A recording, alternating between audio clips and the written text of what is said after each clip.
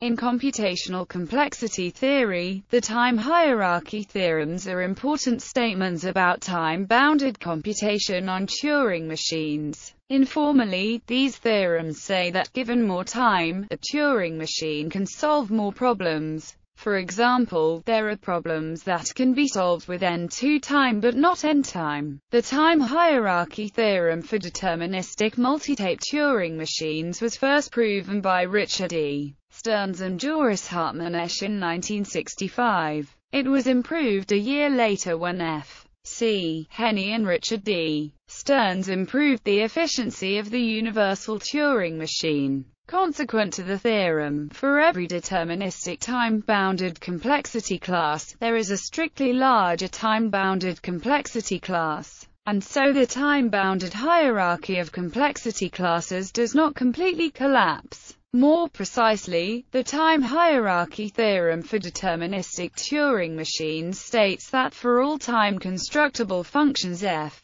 the time hierarchy theorem for non-deterministic Turing machines was originally proven by Stephen Cook in 1972. It was improved to its current form via a complex proof by Joel Seiferas, Michael Fischer, and Albert Meyer in 1978.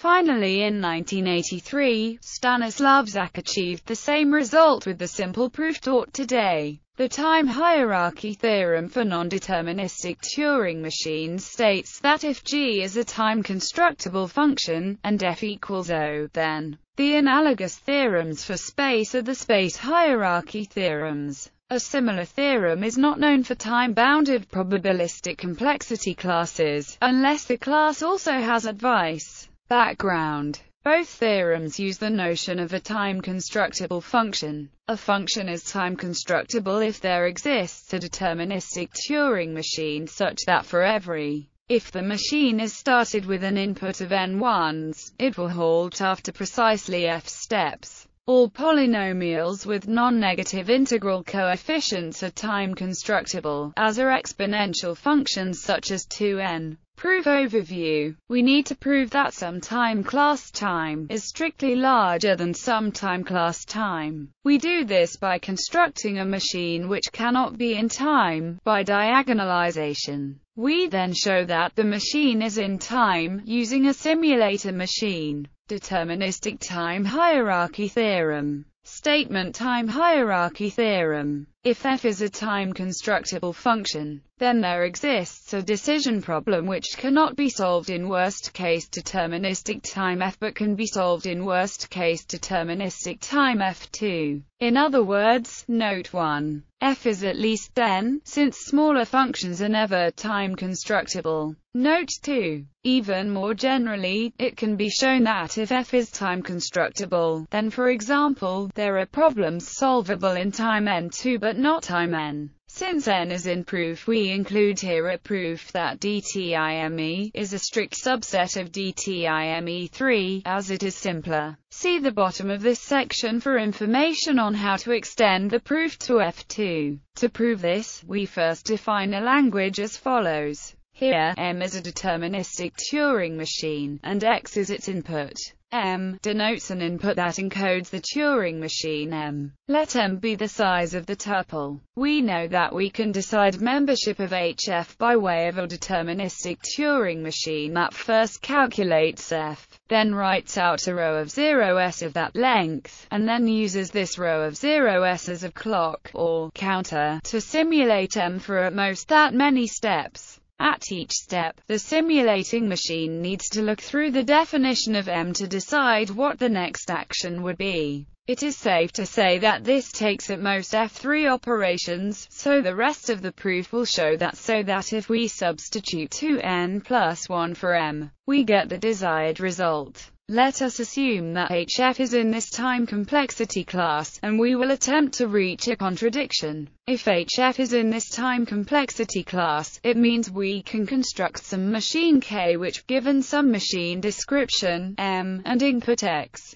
decides whether the tuple is in HF within therefore we can use this K to construct another machine, N, which takes a machine description, M, and runs K on the tuple, and then accepts only if K rejects, and rejects if K accepts. If now n is the length of the input to n, then m is twice n plus some delimiter symbol, so m equals 2n plus 1. End running time is thus now if we feed n as input into n itself and ask the question whether n accepts its own description as input, we get if n accepts n operations, this means that k rejects, so is not in HF, and thus n does not accept n in F steps.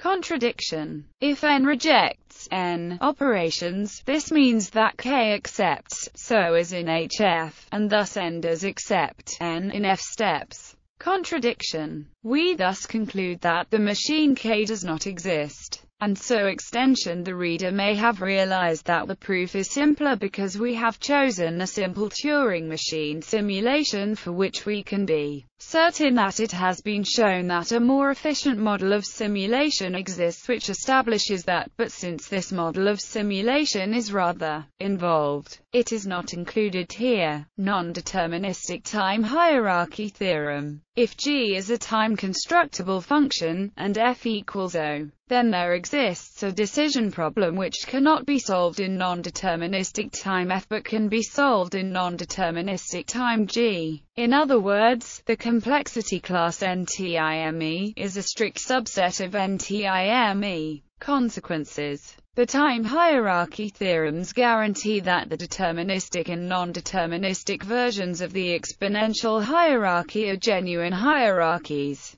In other words PEXPTIME2EXP, and NPNEXPTIME2NEXP. For example, since Indeed, from the time hierarchy theorem, the theorem also guarantees that there are problems in P requiring arbitrarily large exponents to solve. In other words, P does not collapse to DTIME for any fixed k. For example, there are problems solvable in n5000 time but not n4999 time. This is one argument against Cobham's thesis, the convention that P is a practical class of algorithms. If such a collapse did occur, we could deduce that PPSPACE, since it is a well-known theorem that DTIME is strictly contained in DSPACE. However, the time hierarchy theorems provide no means to relate deterministic and non-deterministic complexity, or time and space complexity, so they cast no light on the great unsolved questions of computational complexity theory whether P and NP, NP and PSPACE, PSPACE and EXPTIME, or EXPTIME and NEXPTIME are equal or not.